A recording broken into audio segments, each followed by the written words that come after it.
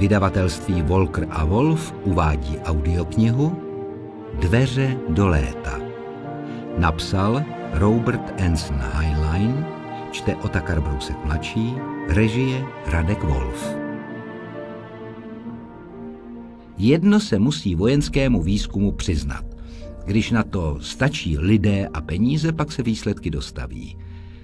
Je třeba jen natisknout další miliardu, najmout dalších tisíc vědců a techniků a pak se jakýmsi neuvěřitelným, nemožným a neefektivním způsobem objeví odpovědi. Stáze, studený spánek, hibernace, hypotermie, zpomalený metabolismus. Říkejte si tomu, jak chcete.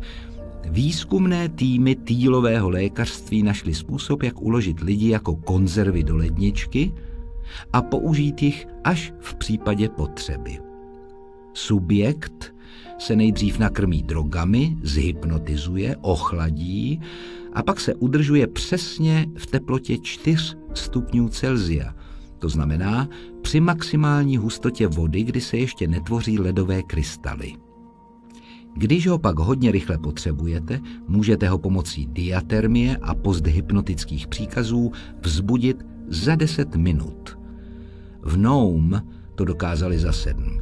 Jenže při takové rychlosti obvykle stárnou tkáně a váš subjekt může být od té doby trochu přihlouplý. Když tolik nespěcháte, je lepší počítat minimálně se dvěma hodinami.